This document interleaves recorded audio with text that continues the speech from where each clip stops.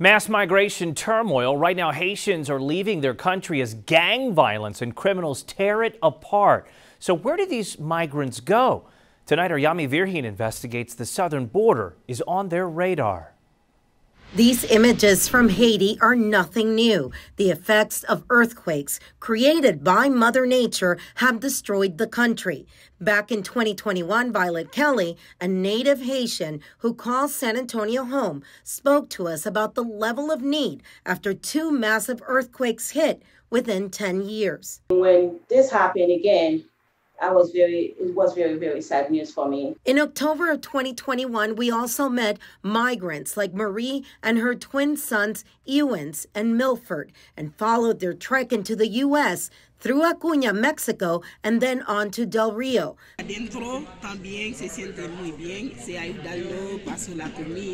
They're now in Boston awaiting their asylum process to go through the system after fleeing their home in Haiti. The new wave of migrants are not coming because of an act of nature. It is the level of violence that, according to retired Homeland Security Special Agent in charge, Ari Jimenez, is caused by another factor. We're going to see an increase of people from Haiti coming to the southern border. We're also going to see an increase of criminal elements. Why?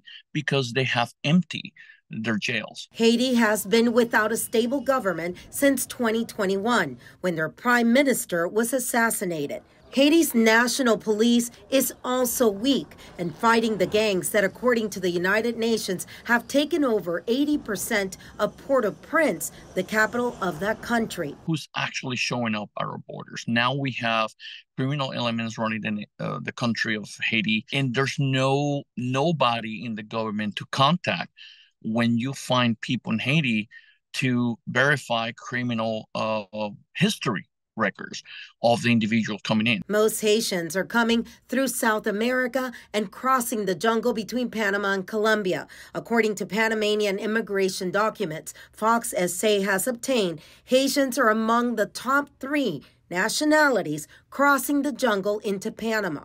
So far in fiscal year 2024, 7,300 Haitians have entered Panama, along with more than 70,000 Venezuelans and almost 9,000 Ecuadorians. It's not going to get any better is going to get worse. On Sunday alone, Panama saw 1,806 migrants enter the country through the jungle. Of those, 531 from Venezuela, 177 from China, and 79 from Haiti. And those numbers are expected to go up. But the question now is if this new wave of Haitians coming in will come through Texas or if they will change their route. We have to see if this group is going to move there uh, towards the west, or if they're going to make it like in the past to Del Rio and Eagle Pass area. Uh, if that's happening, uh, all roads uh, going to end up in in uh, San Antonio. There is no one in the government of Haiti to verify that Haitians arriving here don't have a long criminal history. Yami Virgin, Fox SA. For a more in-depth look at the crisis at the border, listen to Yami's award-winning podcast. It's available in English and Spanish wherever you listen to your favorite podcasts.